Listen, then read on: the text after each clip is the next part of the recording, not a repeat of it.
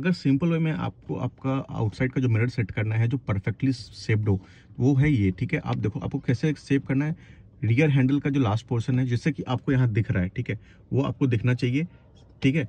And उसके ऊपर कुछ भी नहीं लाइक एकदम बेस्ट व्यू है, इसमें एकदम बेस्ट व्यू आपको देखने को मिलता है। सेम चीज़ आप उधर के लिए भी कर सकते हो, जैसे कि आप देख सकते हो, एकदम जो ये जो है, ये एकदम बेस्ट व्यू है, इसमें आपको एकदम बेस्ट से बेस्ट जो रियर का व्यू, वो आपको मिलने वाला है।